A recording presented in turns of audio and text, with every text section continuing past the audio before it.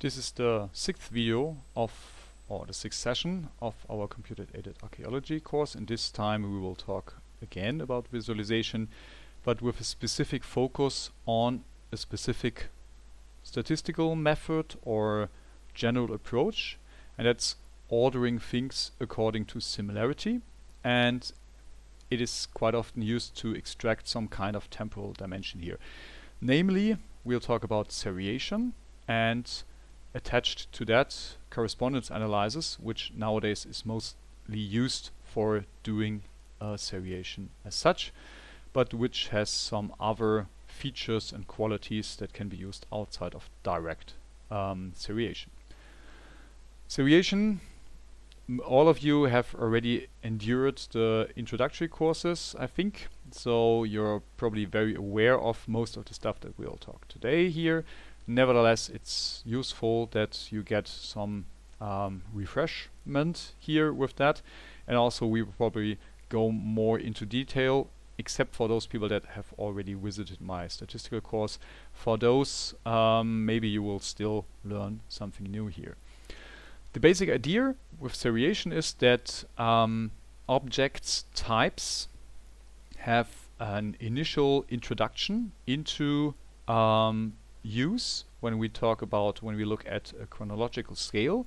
So here is the classic example from uh, Clark, uh, where we can see the different um, what is that gravestones and the uh, decoration of these gravestones, and we can see here that until the beginning of the 19th century, probably or the end of the 18th century, this dead head was the main um, our only used decoration but then here already in the beginning of in the mid of the 18th century the cherub became popular had a peak in popularity replacing the deadhead and then after that um, urn and willow as the motif here became popular and replaced also the cherub. And the basic assumption is that this is true not only for these burial stones, burial markers, but also in general for um, for material culture that we have an introduction, then a peak phase where it is used most frequently in relative terms to its own occurrence. So I would be that phase here with the cherub, and then it become out of fashion again, and that we have some kind of well, generally uh, normal distributed or uh, bell-shaped curve of uh, the popularity of individual objects and that they replace each other. Basically, we have types come into use, have a maximum of their occurrence and then disappear and um, so um, in respect of the frequency of the appearance of different types we can extract a temporal dimension because um, when we look at larger time scales, time and change in material culture is the most dominant gradient or um, difference that we will see in such um, yeah fine complexes in their composition and um, this would be an independent way of um, getting an idea about temporal development. The first seriation is was introduced, probably was the first one, by Sir William Flinders Petrie when he tried to order the uh, ceramics of uh, Egypt.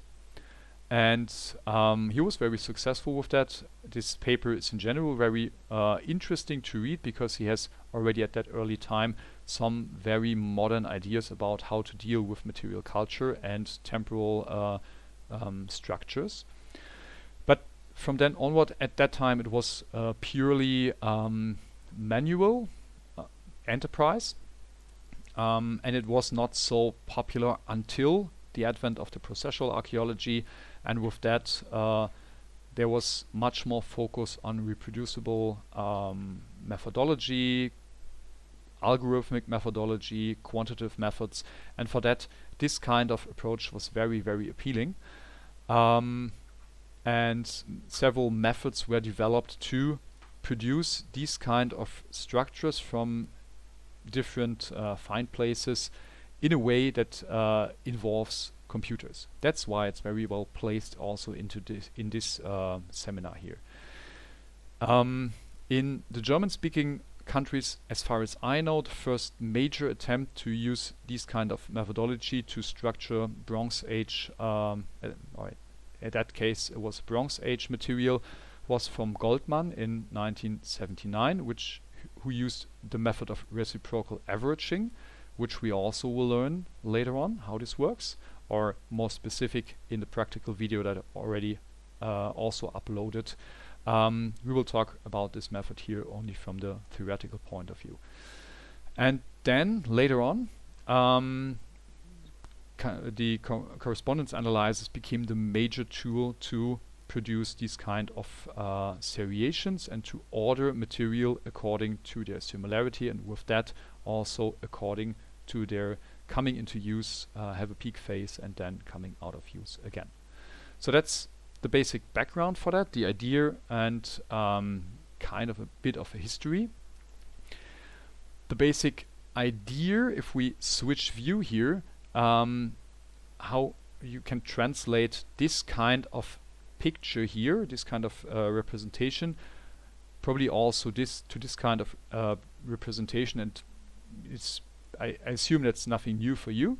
Um, this is how a seriation table can look or should look like in the end. We have different types here, comparable to the different decorations of the gravestones in the image before. And we have here now different burials. In the other image it was time slices, but here we have actually individual burials, so we have a higher resolution with that.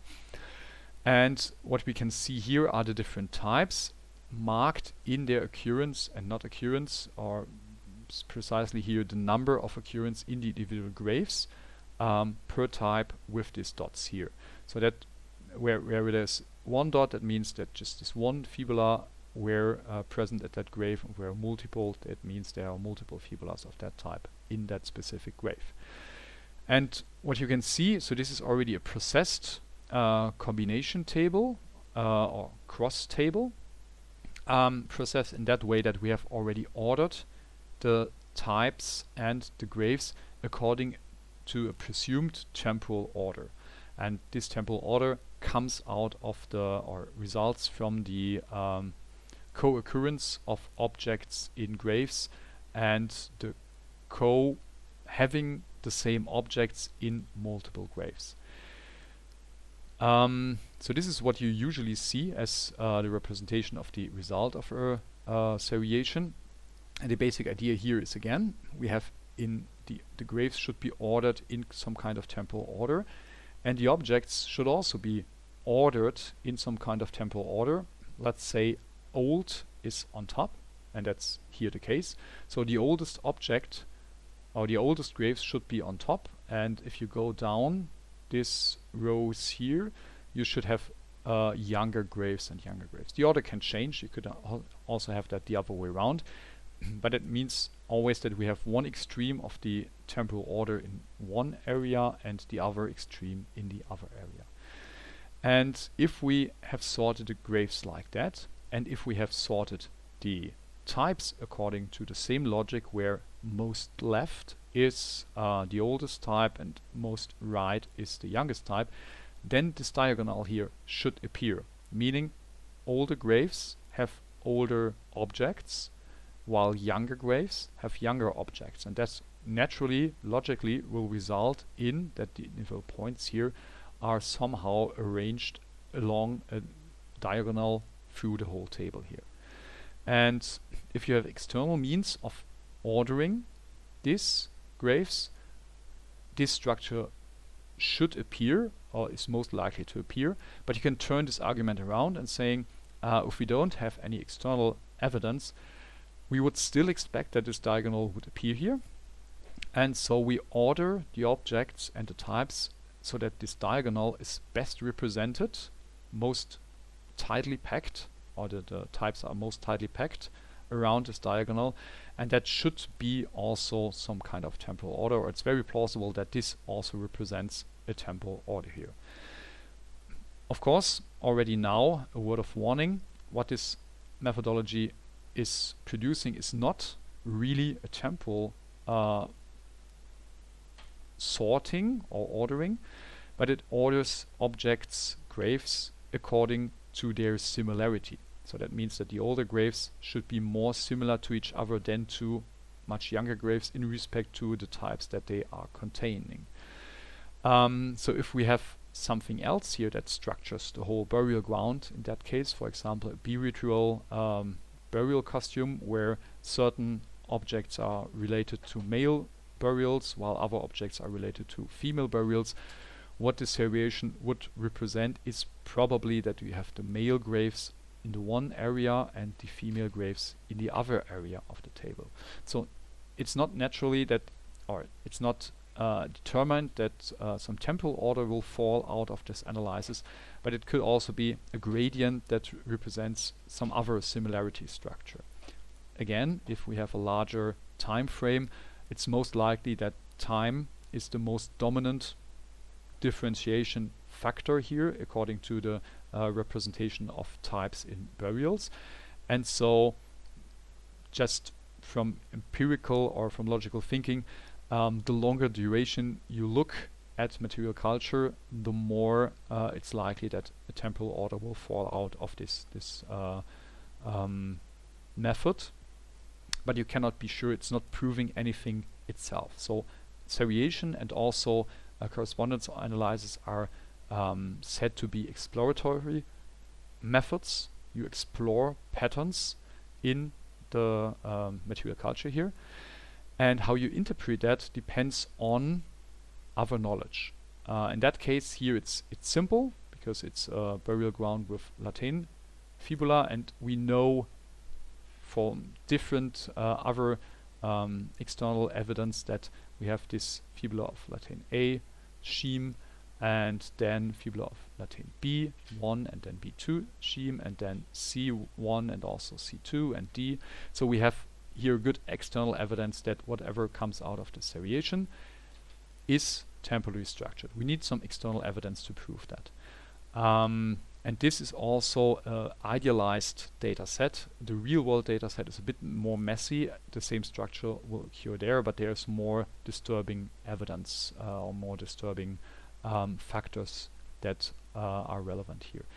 Nevertheless, in general, the whole methodology works surprisingly well and has been applied in multiple occasions in archaeology. To get this ordering uh, said that multiple times. There are two dominant uh, approaches. In the past, it was the reciprocal averaging. Nowadays, it's most of the time the correspondence analysis, which will uh, order the material and reproduce this kind of uh, order for the material culture for display. Um, since there is uh, these these um, structures emerge out of correspondence of burials in respect to the types and correspondence of types in respect to the burials. There's a small um, uh, caveat here on the necessity. You need per object, uh, per grave for example, two types represented. Uh, you cannot use this method for a grave where there's only one object there because it doesn't give you ex extra information about derangement of uh, the material culture or the, the co, co occurrence of material culture. You can, in a later step, include these graves where you have only one of these objects um, present, but they do not enhance the, uh, the, the methodology and for computational reasons also for correspondence analysis you cannot include that otherwise the method will uh, result in an error. The same is true the other way around. So you can only use um, a type where there are that is represented in at least two graves. So each or two other objects of your entities of your inquiry. You need to have two uh, uh, types per entity per and two um, entities per type that they can be included in the original analysis. In a practical video, I will show you how you can um, clean your data set uh, in respect to this this condition uh, using a simple um, but repetitive um, method uh, involving spreadsheet software, in our case LibreOffice Calc. This is a prerequisite that we have to do all the time with that. And there are smarter ways doing that, uh, but here we stick to this approach where we only use spreadsheet software. So first you need to get your data to do a seriation, you need to get the data out of the database in a usable form. For that we will apply a query on the database that collects the uh, necessary information and then we will calculate um, the co-occurrence in respect to the different types using um, a cross tabulation or which is nowadays most of the time called pivot table. You will see how this works in uh, um, in the practical video. For you, in general, um, to give you uh, a theoretical view on that, what you have recorded in the database is uh, types per grave, types per uh, entity of uh, investigation, and you have to transfer that into this two-dimensional structure where you have not only graves and the respective types that are specifically in there, but you have to have this um, two-dimensional matrix where you have all the types and where there's this type not represented, this um, rows or the cells should be empty or actually containing a zero, meaning this type is not represented there. How this is done, I explain in the practical video. Um, and the second step is, as I have said, remove the non-informative rows, rows that have not an artifact or only one artifact um, per burial in that case, and remove the non-informative columns, columns that have no artifact uh, or only one um, or grave actually per column here.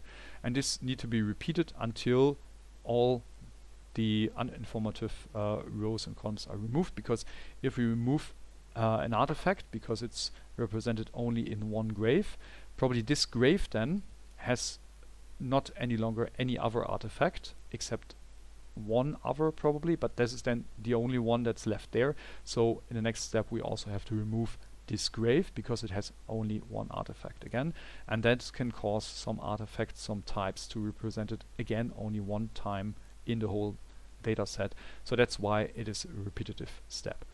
The commands in LibreOffice Calc and in Excel that are relevant here are count, or in German it's Anzahl, and count if, or in German it's zählen wenn, but you will see how this works in the practical video. So two preparation steps are necessary before you can apply any of the um, the methods reciprocal averaging or correspondence analysis to your dataset. If we have done that, and I will start here with the reciprocal averaging, um, the basic idea is um, that we calculate a rank uh, for the rows, or first we we uh, assign in a, a, rank value to the rows like they come from the original data set. And then we calculate a rank for the rows according to the numbers or uh, the, the order of the artifacts and the represented uh, objects in the individual graves. Then we sort the rows according to the rank that we have calculated according to the objects, the artifacts, the types. We sort the rows and then we repeat the same for the columns. So we resort them again. In that case, uh, the uh, structure is a bit inverted. So then we um, calculate the uh, ranks of the columns according to the rows in which they are represented and then sort them again according to the ranks of the rows and we repeat that so long until no further changes will occur. You will see how this works out in a practical video. Here is the example dataset um, that I used for the practical video. You can click here on the presentation and download that and try this out yourself in um, in the spreadsheet software. It's not strictly necessary that you do that. If you like to do that, you can do it with this dataset. Um, you will see later on that we use this uh, online software that is doing that for us. So in that case, it is not necessary that you try that out, but if you like, you can use this data set here. Um, it's more for historical reasons because nowadays most of the time um, you will use the correspondence analysis as a, as, as a method to produce this ordering. Nevertheless, um, it's helped you to understand what the basic um, idea also is when you apply uh, correspondence analysis so that you don't use the black box that you get a basic idea how this works. So I will encourage you to watch also the video on the reciprocal averaging even though you probably never will use that in the end. Turning to the correspondence analysis and uh, this is a more powerful tool because you can use that also for different purposes than just for the seriation. The basic idea here is again, we try to order things according to the similarity and I put it simple here, similar things have similar characteristics. So uh, we assume that objects that are similar because they are temporarily close to each other should also have similar features, meaning for example similar types that are represented in the individual burials. Um, but you can turn that with a bit of uh, mental gymnastics also uh, for the types and say similar types should be represented in uh, similar graves. Um, so with that we get back to the basic idea that we have described in the first place about this table. We go back actually here, this table here. So when we have burials that are very close to each other, they should also be temporarily very close to each other. They should also be very close to each other in respect to the artifacts that they contain. That's the general premise of, of archaeology, I would say, or of um, typochronology. And correspondence analysis is only a mathematical way to order uh, these objects in the same way like uh, reciprocal averaging. So I said already before, it's a visual, explorative, and descriptive method. That means even though if you're using uh, correspondence analysis, it doesn't come with significances, uh, so it does not prove anything. Methods for proving anything as far as is possible in statistics, uh, we will learn in another uh, session here, but this method will also be very close to the correspondence analysis. And in general, it's a tool to visualize the contingency tables or presence-absence matrices of large data sets. The idea is uh, um, represent the items and their properties, the variables, and in uh, specific um, software it's called species, the variables, so these are the types, in a common space which is just a coordi coordinate system. So we will have a coordinate system with x and y, and there we put points in respect to their uh, similarities for the individual sites and data that are related to each other, sites that have very similar uh, properties should uh, be more close to each other uh, and uh, objects that are much more dissimilar should be represented farther away from uh, each other. So in a way it's a two-dimensional version of um, the seriation where also we have here only one dimension. And what is close to each other should be here in 1D close to each other which is very similar while things that are dissimilar are placed far away from each other. And the correspondence analysis we have the same but uh, we work in two dimensions. So we have x and y and we have more space to arrange similarities and dissimilarities. These similarities, so that's that's what we want to achieve. And for that we need to calculate similarities and they are calculated using something that's called a chi-square method. We don't need to go too much into detail here for this. Um, you will see how this works uh, later on. You don't have to memorize that. Um, it's just a way to represent um, or code similarity and dissimilarity in respect to similar features or common features.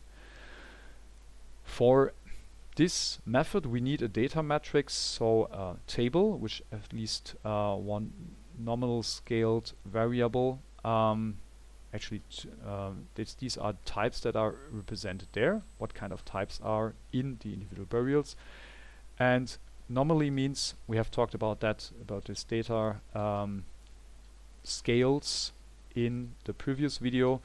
Um, that means that we have just names for values. So in the burial there are fibula of uh, type La Tène R, for example.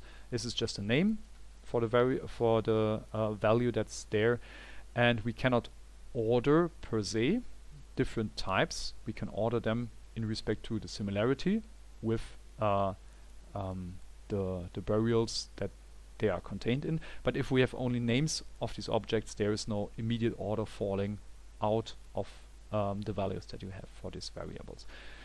And we have these nominal scale variables quite often in archaeology. That's why correspondence analysis and also reciprocal averaging are very um, suitable for archaeological questions because most of the time we're actually dealing with this kind of data scaling.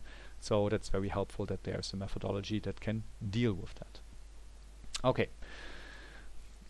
Again, you don't have to do that all the time. What is now coming in front of you. Nevertheless, it helps you to understand a bit what's taking place there and at least give you uh, the understanding that there is no magic taking place, but it's a strict um, procedure and it has some mathematical backgrounds. And actually, it's not so difficult to understand, um, but you have to do a bit again of uh, mental uh, exercise to, to get into the idea.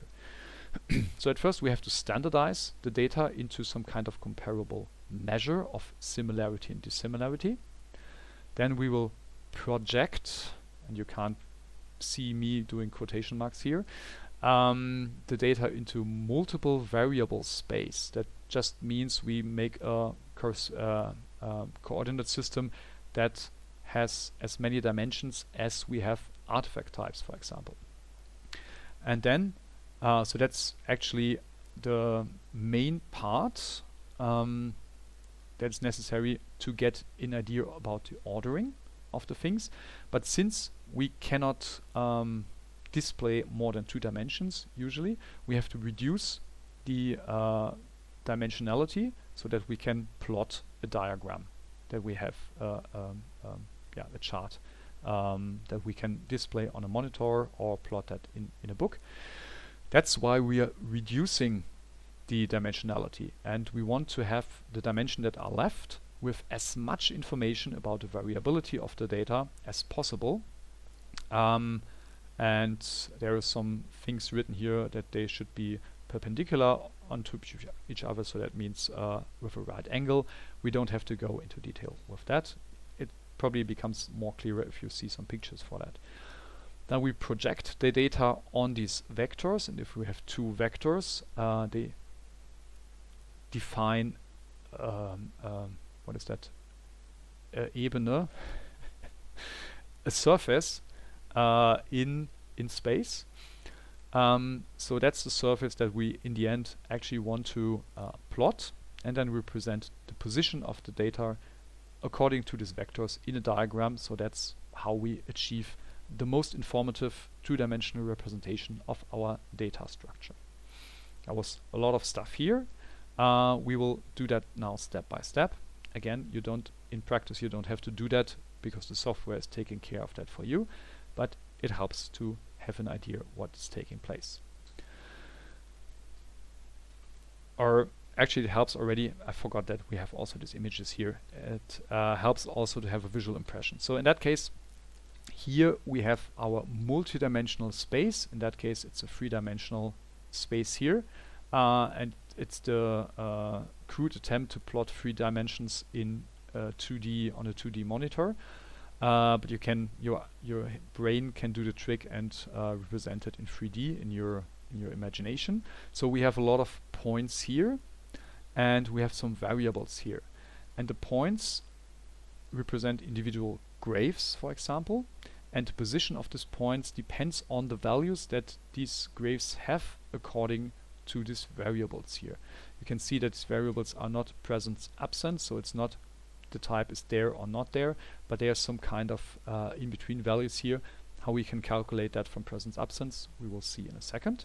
But let's assume we have three types here and now the individual points represents how many of the objects of these types are represented in these graphs. Um, and according to the variables we can plot, we can define a position in this three-dimensional diagram where the individual um, graphs should be placed according to the presence or absence of artifacts in them. So with that, we get this multi-dimensional space and if you think about that, that's not so. Uh, the, the term is very um, yeah impressive, but in the end, it's just a simple um, idea of placing things where they belong. But now we have them in three-dimensional space, and we want to plot them into two dimensions. So first, we find the first direction, or you can call that a vector, that goes through the largest extension of this point cloud that forms now into in three dimensions. And that's this this first one here, this long one. And that's the dimension that takes most of the information because it represents most of the variability in the data. If you assume that the difference in respect to all the variables together is the variability of the data, then this axis here will go through most of its variability, representing most of the variability in the data. And now we find the next um, next dimension, the next vector that goes to the next most extension of this point cloud, this variability, with the small precondition that this should be in a right angle towards the first one. And there is a way to find this. And with that, we have a two-dimensional space here that takes as much of the variability of the data as possible, given that we have only two dimensions. So with that, we get most of the extensions of this point cloud in two dimensions. Some points are floating above this surface here, some points are floating below, but this is a smaller amount of information than uh, which is represented in this two-dimensional representation. So we can for sacrifice that for getting a two-dimensional representation of the structure in our data. That's what we want to achieve here. And you could go further and say if we don't need these two dimensions, if we just want to have this one dimension that takes most of the structure, then we end up with a seriation because then we can order the individual graphs according to their position along this vector and with that we have achieved the same that we can achieve with reciprocal averaging. We have a seriation, we have an ordering of these burials or whatever entity of investigation you have according to their similarity. But if we want to really have this two-dimensional um, position, then we use this plane here that we have defined here and project the points on that plane. You can assume that as if you have a light bulb on top of the um, the plane uh, and that casts a shadow so that the individual points will cast a shadow on the plane and that's where we mark their presence for the two-dimensional representation. So basically we arrange stuff where it belongs and then we uh, get the, the surface that is going through largest extension of the point cloud and then we project the points on this uh, um, surface to get the representation of the big or the presentation that catches most of the variability that is possible in two dimensions. And if we have more than three variables, of course there are more dimensions possible.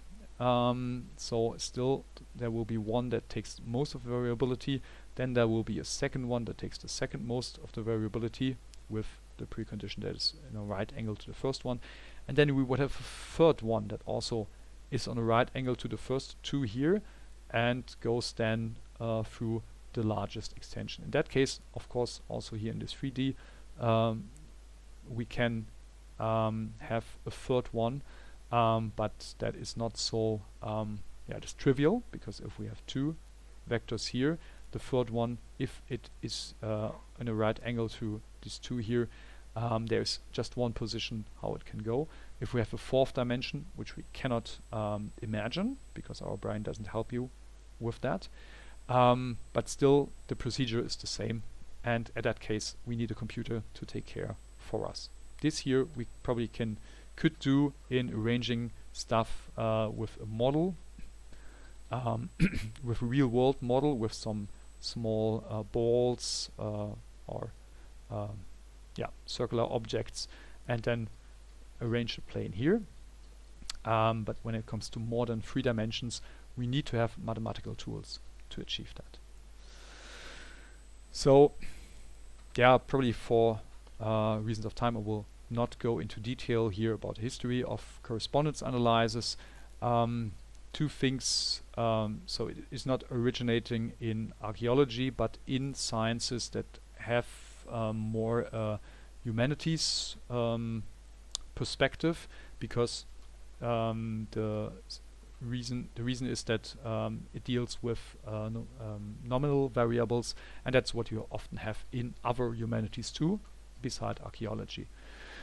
1984 there is the basic monograph uh, which is now the standard um, book on correspondence analysis so everything that you can do with correspondence analysis kind of is already written in this book and for archaeology, it had a wide application uh, for the chronological sorting of the uh, Rhineland linear band pottery. And there are uh, Cologne and Kiel uh, in, in Germany, the two institutes where uh, in the 90s the uh, use of this method was strongly favored uh, nowadays, it's uh, widespread used everywhere, but you can still see some some clusters where this methodology is used more often. Still, it is very helpful for a lot of uh, uh, archaeological questions and has to be applied with care because um, all data would probably fit into a correspondence analysis. You probably will get a very nice plot as a result, but there are other methods that for other um, questions might be better suited than just doing a correspondence analysis. So that's just one word of warning if you can say it like that. Okay, how do we actually do a correspondence analysis? And here's an example. You can use a presence-absence matrix like we have kind of seen before where the presence of an object in individual burials is just marked with 1 if this object is present or if multiple objects are present we just have the presence of this type in the burial marked as 1 if one or multiple objects are there, or with 0 if um, none of these objects is there. Still, we need cells per column with at least two filled or uh, yeah cells, and per row also we need at least two filled cells. So we need this correspondence of objects in respect to burials and correspondence of burials in respect to objects to apply this methodology.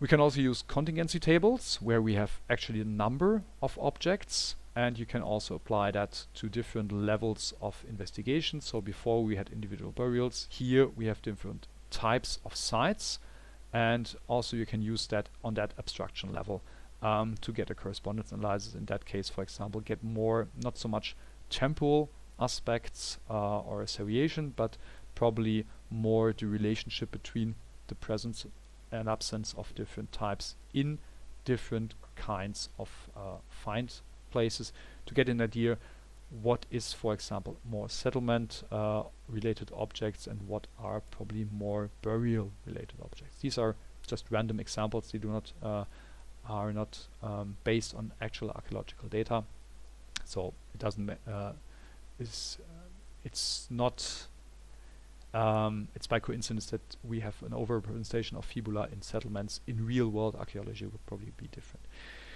There's another thing that called Burt matrix. If you're really keen into learning more about uh, correspondence analysis, it's a way of pre-processing your data to get more um, a more defined pattern out of your data. You can ask me if you like, but we will not go into detail here. It's already dense enough. Okay. Um, we stick to this presence absence case here, but the calculation for the contingency table is very similar. And at first we have to standardize. Uh, we, as I said before, we need to have a common uh, expression of measurements, and for that we can just get the uh, relative frequency. That means we standardize by dividing the presence here of pot and cup by the sum of uh, objects that are in this burial. So, um, and we do that for the whole table. So we assume that the whole material culture we have is equal to 1. That's the, the full amount. And now we get the percentage of uh, objects that are represented individual cells. So um, here one we have nine objects in this example here. And uh, this cell here with the pot in burial 1 it represents one ninth of the total amount of material culture. And we can do that for every individual cell here. So in that case we will get cells with 0.11 uh, for situations where we have a, um, an object and 0 for all the situations where we don't have an object here. What comes out of that is um, this margin sums here. Here, this margin sums represents the amount of total objects in the burials or the amount of burials in total that have this kind of artifact. Here, they represent the amount of material culture that is represented by this burial or the amount of material culture that is represented by the specific type here. And these are called mass, uh, like uh, Gewicht, and we need that later on to calculate uh, what we call expectation value. We will see what that is, and also to scale the uh, later on the um, results of the correspondence analysis according to a common scale. For now, just you need to know that we need this margin sums um, later on. And these margin sums for the columns as well as for the rows should sum up to 1 because that's the way how we reconstructed this table here. Again, software takes care for you, but you should know that this is the first step, so there is a normalization of the data. And then we calculate the values, the expected values, in a case where every object is represented according just according to the number of objects in the specific burial and the number of objects per respective um, artifact. So there are some fixed values here. We know that burial 3, for example, has 3 objects, while all the other burials have 2 objects. And that's a fact we cannot change. But if we would expect that the burials in this or the, the objects in this burial 3 are distributed like the mean of all other burials like um, so there is no deviation from burial 3 to all the other burials in respect of the amount of material culture that is represented there. We would expect a specific value here and the same is true for burial 2 and we want to see how much the actual data pattern in the data is deviating from the boring situation when everything is distributed the same. We calculate that by uh, multiplying this um, marginal sums here and that's how we get our expected values. If we do that, we get here um, 0.07, that means 7%. If the material culture would be evenly distributed over all the burials and all the, the types, then 7% would be pots in burial 1 and also 7% would be cups in burial 1. And in burial 3 we have three total objects so we would expect that this burial as such has more objects in general and that 11% uh, of the total uh, material culture would be pots here, 11% would be cups, and 11% would be fibulas.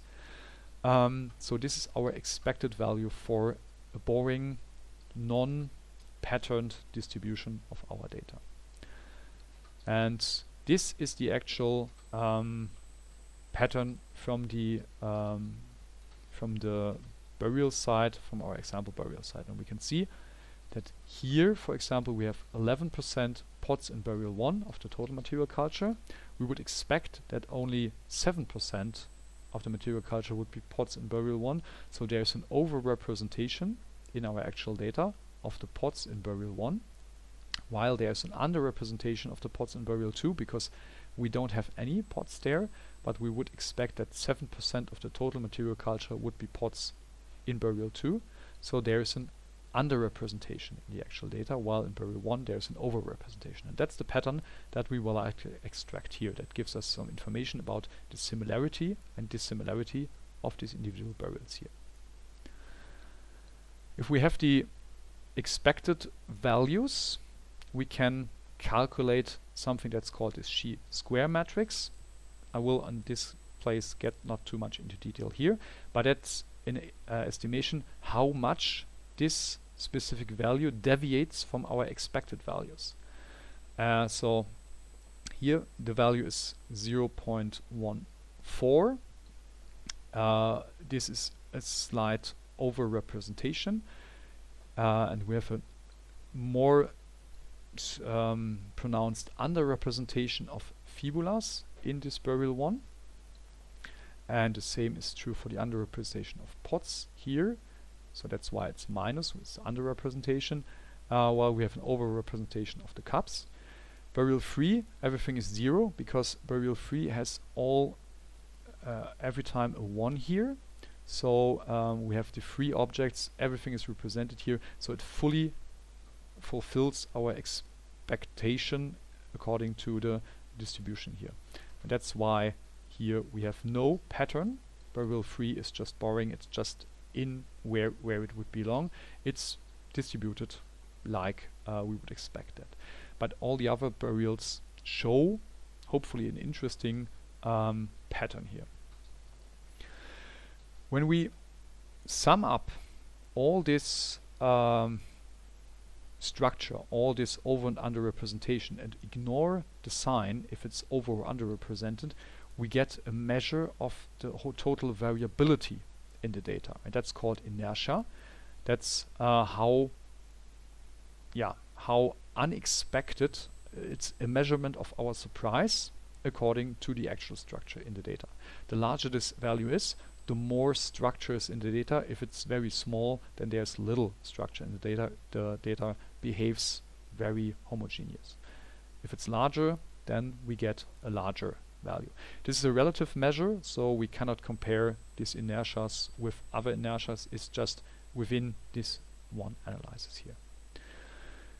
So with that, we have calculated the uh, amount of surprise for the individual burials and the total surprise of the whole data structure. And if we have done that, we have already uh, the possibility to represent the data in a common space in a uh, diagram. And you can see here it's not presence absence of individual objects but we have here the uh, values that goes from um, or is um, yeah representative of our surprise. And we can see over and under representation of these objects and not just the pure presence absence. If we have that and this is a 3D plot here actually um, we can see and we uh, or we see all the structure that's in this data already in these three dimensions. And of course, we have only three dimensions possible here because we have only three um, types in this analysis. In real world, of course, it is more. So only in this situation, when we have only three types, then each each of the axes here of the uh, 3D plot represents one type. So set uh, one is I assume pot, set 2 uh, that's that's actually this axis here represents the cups and set 3 represents the fibula. And now we can see burial 3 is just in the middle because there is no specific structure in respect of surprise. But all the others are arranged around that in respective corners uh, meaning that they are different in different perspectives essentially this is already a mapping of similarity and dissimilarity of the objects and if we would have more than these four objects we probably would see interesting patterns here that some burials are clustered in one corner of this uh, uh, representation and others are clustered there.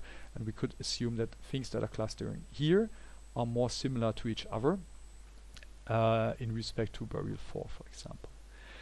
But so again here it's just a um, um, compromise between the amounts of um, dimensions that we can show on a computer screen even though I can move that around and get an idea about the hidden structures but now we have to find the plane that takes most of the um, information and still represents that in two dimensions. I can do it like that if I move that around here a bit and looking for the largest extents and uh, it will be kind of this arrangement. I have difficulties with the mouse achieving that or actually I have difficulty with, with the presentation. I've tortured the computer too long but I will try that again. So if we have it approximately like that here now we have most of the structures of the data represented in two dimensions. Burial 3 is just in the center and the others are around that. We hide some of the informations, for example that burial 2 is far above burial 1. If we do it like that, then they all seem to be in a similar plane here, but we get most of the information out here. So we can arrange our data in a way, or, or three-dimensional uh, representation in a way that we get most of the information, most of the variability of this data represented. But since usually in paper we cannot do that and uh, also um, when it comes to more types, more dimensions, we also cannot do that because we don't have a way to represent that. We need a mathematical way of calculating this and here um, we need a mathematical way to identify this largest um, vectors that go through the point cloud and plot these objects on this plane. And for that, we use um, our correspondence analysis actually is using a procedure called uh, singular value decomposition or SVD. And it's a very, very important um, method for a lot of computer applications including correspondence analysis, but not limited to that. For example, whenever you use uh, uh, an image, uh, a JPEG image, it has gone through this singular value decomposition because you extract those informations in the image that gives you most information and remove all the dimensions that are less informative and with that you get a uh, condensed representation of the images and all the errors will result in some kind of blur from a uh, JPEG image as you can see here in this photo from a, a car plate. That is actually from um, Gene Golub, who invented this method, and he was so proud of that that, or he actually he not invented that, but he improved that very much, and he was so proud of that that he used that uh, as his car plate from that onward. So that's a very powerful uh, method that's used in a lot of computer applications and also we can use that in archaeology to do our tiny correspondence analysis. The basic idea is we have this initial data um, structure here that is um, our data structure here with the amount of surprise for the individual burials and, and objects. And with a specific mathematical um, procedure, we divide that into three tables where we have one table for the row elements, for the burials for example, one table for the columns that are our types, and one diagonal matrix where we have a table where only the diagonal is filled, and this takes something that's called singular values or eigenvalues, and these are giving you an information how much um, uh, information the individual um, um, rows or columns of the other matrices have. So this is uh, where our dimensions are stored. Again, we don't have to go into detail here, but this is how, uh, for example, in the statistical software R, you can do that. So you read in this um, this uh, table, and then you apply this SVD method, and this can be the result. This is actually from from the burials uh, from our example burials here, and we can see here in D that's the diagonal matrix. We have a specific value here or three specific values. And here we have the rows. So these are the informations for our rows and these are the informations for our columns for our types this is the first dimension. This is the second dimension, and then there's also a third dimension. So this is uh, x, y, and the stuff we cannot represent in x and y. And these individual values here are actually the coordinates according to this dimension. So if we would plot that in a two-dimensional diagram, we would use the first and the second dimension. This takes most of the information, that takes the second most of the information. And on that new diagram, we would place the first burial in x 7 point, or 0.7 and um, in the y-axis we would place that in minus 0.4 and with that we would have two coordinates and we just ignore the last here because they are also ordered from the most important dimension to the least important dimension. There are some nice features of these singular values, these eigenvalues. If we square them, um, these are the inertias, the amount of uh, um, dissimilarities for the individual dimensions. So the first dimension takes 60% uh, or 1.6 of the inertia. The second, in that case, because it's a very uh, trivial example, also takes 1.6. And the third takes very, very tiny amount of the variability.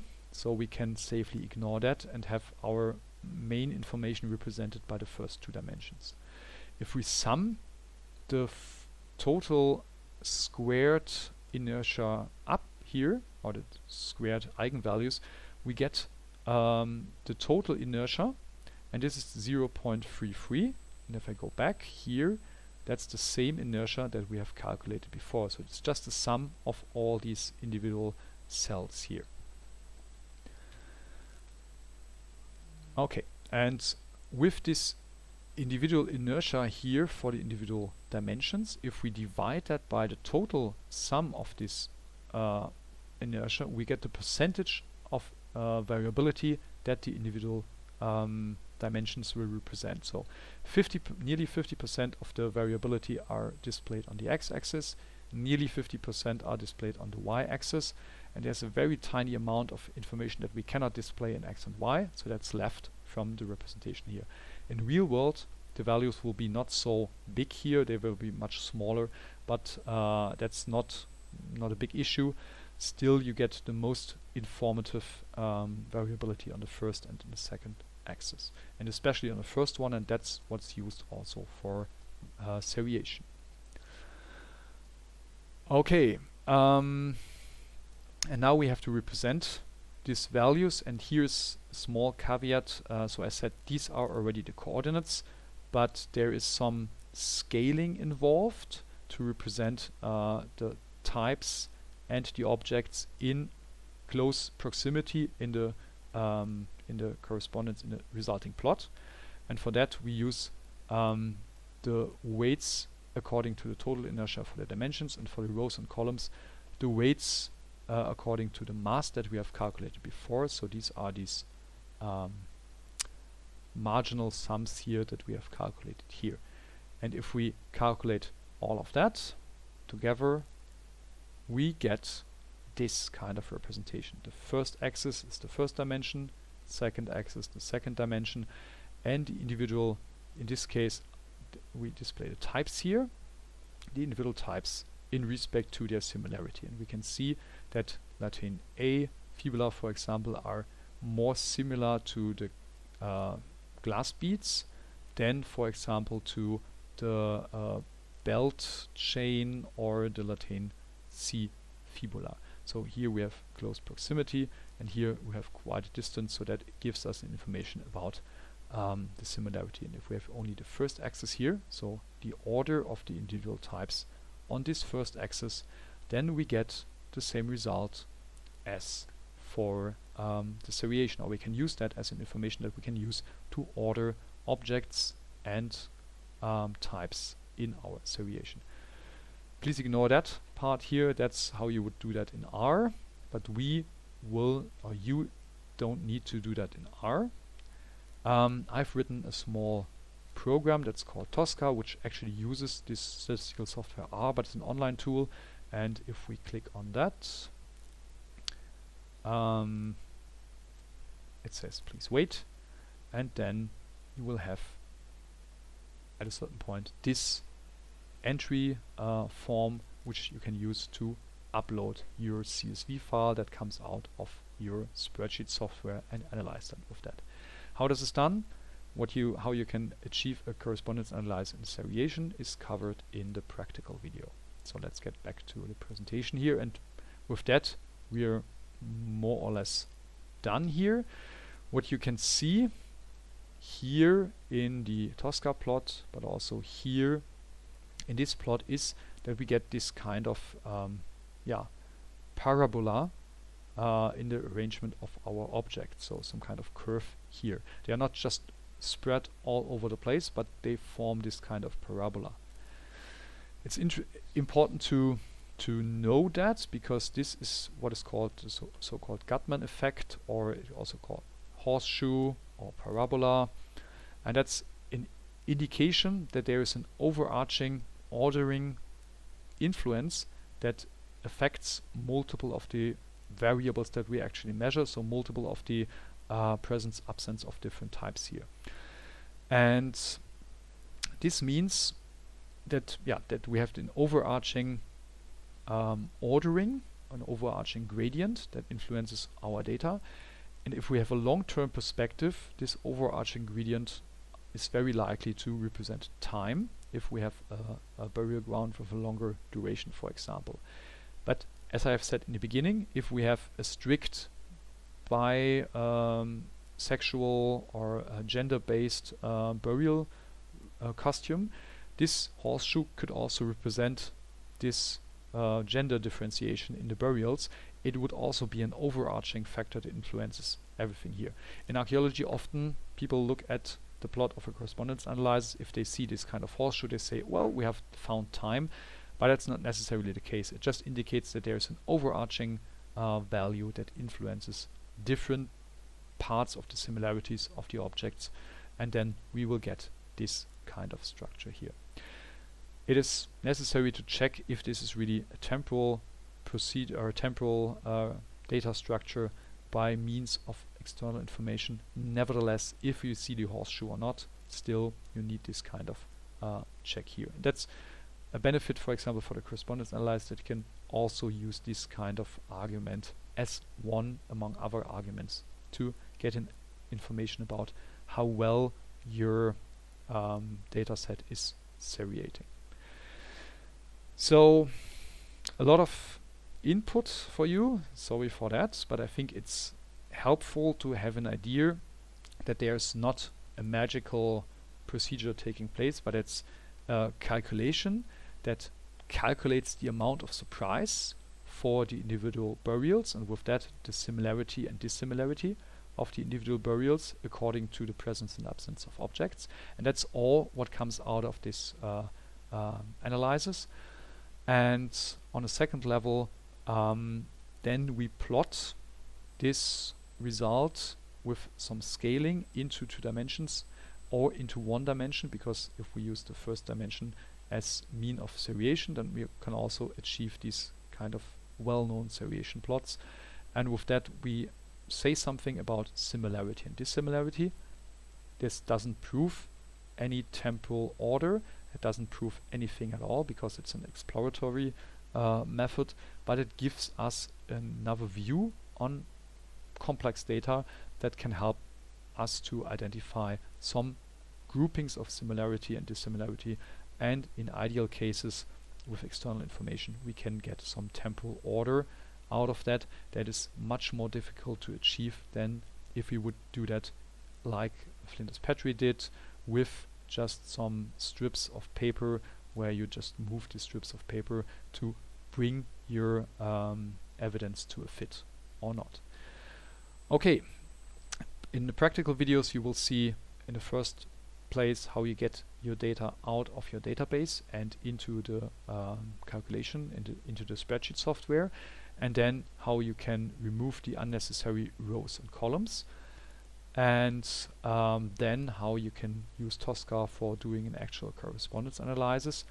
And in the second video I show you how reciprocal averaging works using only the spreadsheet software but in Tosca you will see already in the first video uh, how this can be done um, also using this program. So there's also an uh, averaging implemented and both give you similar results, but they can still differ. None of them is better or more real because both are just exploratory tools um, and the interpretation and reasoning must take place outside of the statistical program of your choice. Must take place in your brain and with your archaeological knowledge about the material culture that you have and other informations about temporal structure if temporal structure is the aim of your investigation. Thank you for your attention. As usual, you will find the course material on the course website and if you have any questions, we will talk about that on the practical lecture. Um, and also you can always drop me an email or ask me anything in the Slack channel and I will try to answer you soon.